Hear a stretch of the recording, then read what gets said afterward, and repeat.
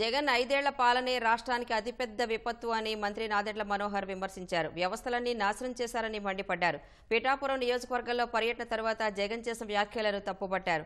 అనవసర విమర్శలతో కాలక్షేపం చేస్తున్నారని నాయకుడు ఎలా ఉండాలో పవన్ కళ్యాణ్ చూసి నేర్చుకోండని నాదెండ్ల మనోహర్ హితవు పలికారు. అసలు గత ఐదు సంవత్సరాల్లో జగన్మోహన్ రెడ్డి గారి పరిపాలనే మన రాష్ట్రానికి అతిపెద్ద విపత్తు.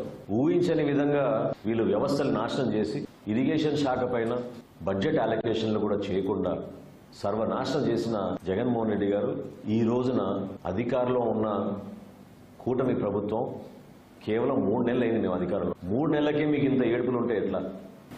పిఠాపురం వెళ్ళారు.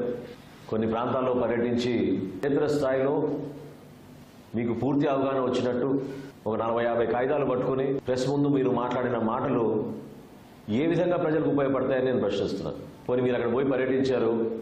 మీ సొంత పేరుతో నిర్మాణం చేసిన ఆ జగనన్న కాలనీ గోలపురంలో అక్కడ పర్యటించారా మీరు? అక్కడ ఉన్న వాస్తవ పరిస్థితి తెలుసుకున్నారా?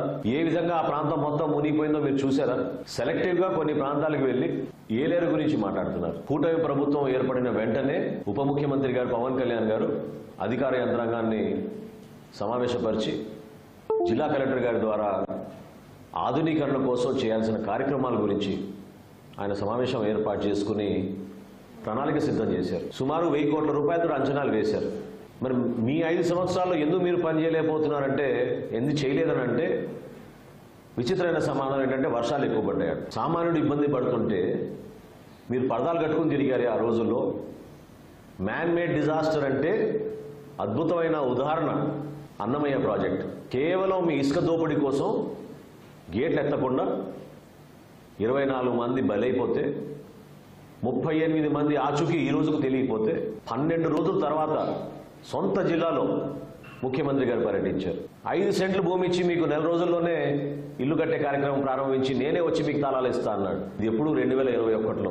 ఆయన ముఖ్యమంత్రిగా దిగిపోయే రోజు వరకు కూడా ఇల్లులు అక్కడ పూర్తి కాలేదు. ఈయన మాట్లాడతాడు మ్యాన్ మేడ్ డిజాస్టర్ అని.